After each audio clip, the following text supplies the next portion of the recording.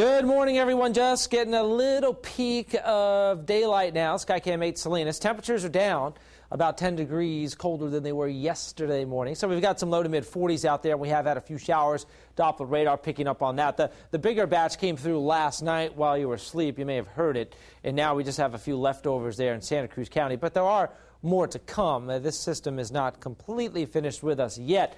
Low pressure up here. The trough has dug and uh, brought the cool air down, so uh, the jet stream is riding well to our south at this point. So the cold air is basically overhead, and that is lowering our own snow levels. Of course, plenty of snow in the Sierra. Here's the next impulse, by the way. This is queuing up. Now, a lot of this is actually going to slide right down the coast, so it's going to be offshore.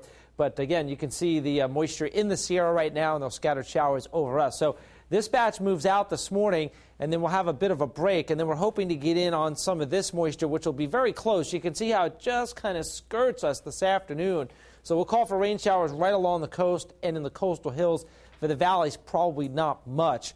And the winds are going to pick up a bit as well. You see they're light west, northwest. Now, they ramp up a bit out of the south as the low moves by, and then they come right back out of the east because, of course, counterclockwise rotation around low pressure, and again, high to low in terms of your winds. So the winds will go offshore tonight. That'll dry us out pretty quickly.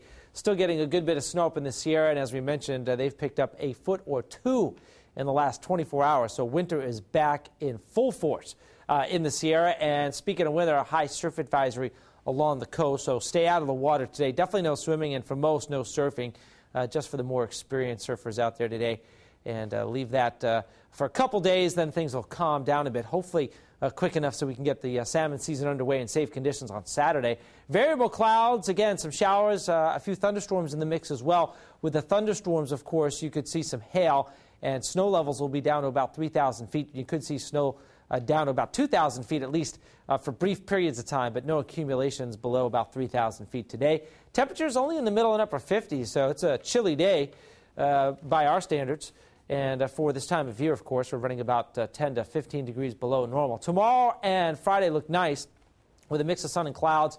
Temperatures warming a little bit with maybe a late day shower on Friday. Most of the weekend is dry, actually, and then late in the day on Easter Sunday, we may see a return to some wet weather.